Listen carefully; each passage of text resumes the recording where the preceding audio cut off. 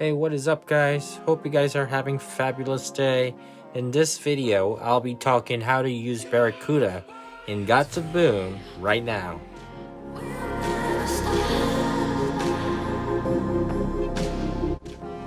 First of all, I'll be giving tips when you guys are using aim assists, since most of people use aim assists.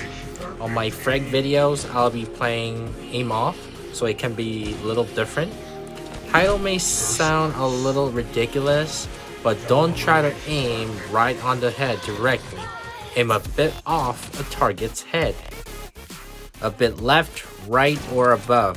Make sure your target is inside of crosshair 4 dots. If your target is inside those dots, locking procedure will start and aim assist will drag your aim to the target. And the next topic will explain why you aim a little bit off.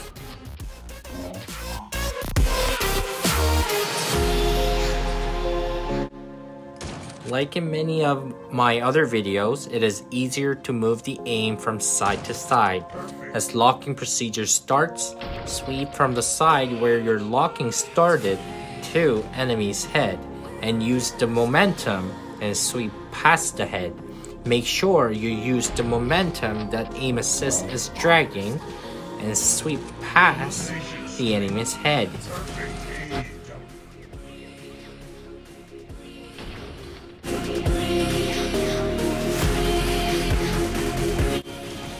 Once you get used to using that momentum that aim assist is dragging, it will be much easier to shoot with Barracuda. But sometimes the above procedure does not work because there's an obstacle in front of the enemy or there are head glitching. Then the locking does not happen as easily and aim assist does not drag your aim as much. Then level out your right hand aim and move your left hand to make precise movement and adjustment. This is because it is easier to make little adjustment with your left hand than your right hand. These are the tips to aim and shoot better with your Kuda. I hope you can utilize your Barracuda better now with these tips.